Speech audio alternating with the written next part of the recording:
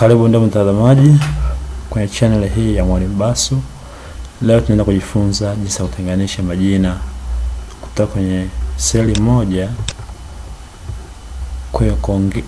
ili ukayagawa yao katika seli zaidi ya moja. Kwa mfano kama hapa jina hili na hili na hili, ili yatokee jina la kwanza, jina la kati na jina la, la ukoo. Hii ina umuhimu kwa sababu katika database mbalimbali huwa zinahitaji majina yao yametenganishwa. Kwa mfano kama hapa jina la kwanza linategemea jina la pili linategemea jina la tatu na linategemea. Kwa hiyo yakiwa yameunganishwa tayari katika mfumo wa database huwa haitakiwi. Kwa hiyo leo tunajifunza jinsi ya kutenganisha jina ili ili jina hili majina haya yawe katika sehemu zake tatu. Jina la kwanza lionekane, la kati lionekane na la ukoo lionekane. Basi twende tuendelee. Cha kufanya, kitu cha kwanza una select majina yote ambayo nataka kuyafanyia hiyo kazi, yaani kuyatenganisha. Hapa tuna majina kama mia na arobaini na nane. Majina ya mia na arobaini na nane. Unachofanya unaenda kwenye data data hapa, kisha click hapo, unaenda kwenye sehemu ya text to columns, kwa una click hiyo sehemu inakuletea wizard, yani maelekezo hapa.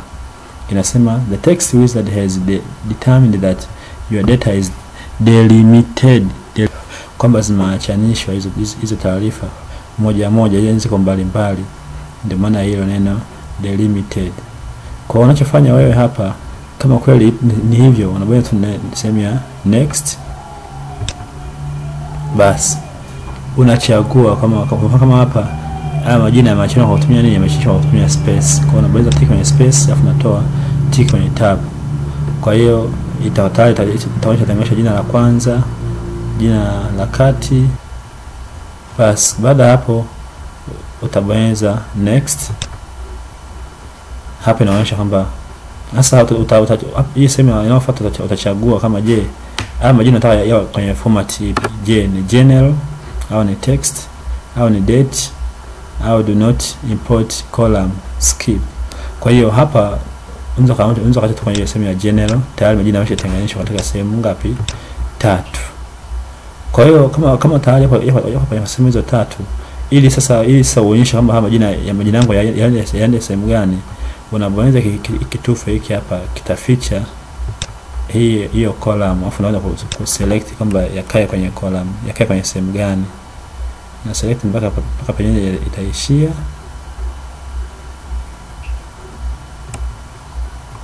Tutakuwa tumeshamaliza mpaka pale, alafu baada hapo nakikuza tena, alafu nabonyeza finish,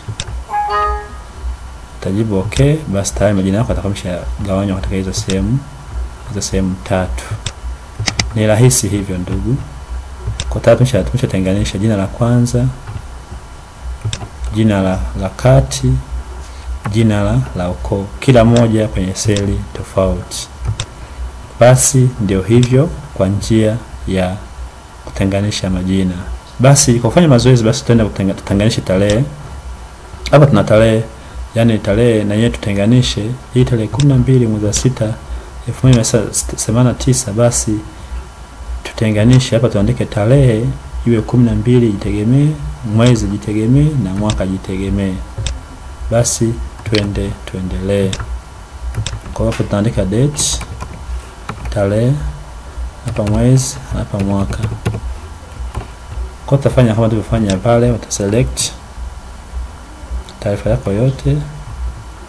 Hapa tuna watu thelathini na mbili. Kwa baada ya hapo uta- utaenda kwenye data kama nilivyosema, utaenda kwenye text columns kama kawaida nimechagulia sehemu ambayo tunatumia delimited, basi tabonyeza next. Sasa hapa tarehe zetu zinatenganishwa kwa kutumia stroke mkwaju. Kwa hiyo baada ya kuweka baada ya kutumia space, tutachagua kwenye hii sehemu ya other, afu tutaweka hiyo alama ya, ya mkwaju kwamba kila kila kila kila taarifa imetenganishwa kwa nini? Kwa mkwaju. Kwa tabonyeza next. Tushafika hapa unaweza kama kuchagua kwenye sehemu ya date au kaacha tu kwenye hiyo ya general na hiyo haina tatizo. Afu tai alafu tutaipunguza hii ukubwa wake, ta select hizo tarehe zetu zikae kwenye sehemu gani. Basi baada hapo unaikuza unabonyeza finish. Tarehe zako zinakuwa zimeshakaa pale, tarehe kumi mwezi wa kumi na mbili sabini na tatu imeshakaa pale, inaonekana kabisa. Labda hapa tarehe nne mwezi wa tano themanini na nane tarehe nne mwezi wa sita themanini na sita inaonekana kabisa imetenganishwa kwenye, kwenye seli ya kwake. Basi ndugu mtazamaji, ndio hivyo kirahisi jinsi ya kutenganisha taarifa zako ambazo zimeunganishwa kwenye seli moja ziende kwenye seli tofauti. Asante kwa kunisikiliza. Karibu tena kwenye video nyingine inayofuata ili tuendelee kujifunza zaidi kuhusiana na Excel. Karibu sana.